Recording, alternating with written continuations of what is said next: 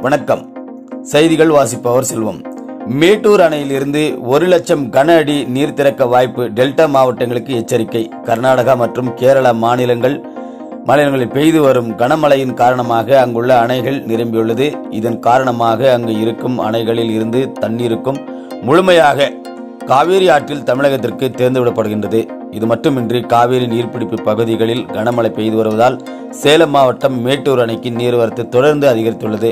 கர்நாடக மாநிலத்திலிருந்து எழுபதாயிரம் கன அடி தண்ணீர் தற்பொழுது வந்து கொண்டிருப்பதால் மேட்டூர் அணையின் அணையிலிருந்து உபரி நீர் மேலும் அதிகரிக்க வாய்ப்புள்ளது. இதனால் கரையோர பகுதிகளில் வசிக்கும் மக்களுக்கு பல்வேறு எச்சரிக்கை அறிவிக்கப்பட்டுள்ளது. குறிப்பாக நீர்நிலைகளில் நின்று புகைப்படம் மற்றும் செல்ஃபி எடுக்கக்கூடாது குளிக்க மற்றும் துணி துணிகள் துவைக்க தடை விதிக்கப்பட்டுள்ளது.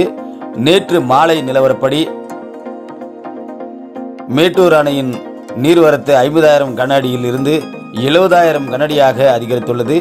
அணையின் நீர்மட்டம் நூத்தி இருபது அடியாகவும் அணையின் நீர் இருப்பு தொண்ணூத்தி மூன்று புள்ளி நாற்பத்தி ஏழு டிஎம்சி ஆகவும் உள்ளது. மேட்டூர் அணையிலிருந்து எட்டு நாட்களுக்கு பிறகு நீர் காவேரி ஆற்றில் பதினாறு கண் மதகுகள் வழியாக வினாடிக்கு நாற்பத்தி ஏழு ஆயிரம் கன அடி திறக்கப்பட்டு வருகின்றது. மேட்டூர் அணையிலிருந்து திறக்கப்படும் தண்ணீரால் தண்ணீரில் இருந்து அணை மின் நிலையம் மற்றும் சுரங்க மின் நிலையத்தின் வழியாக இருபத்தி மூன்று ஆயிரம் கன அடி தண்ணீர் திறக்கப்பட்டுள்ளது.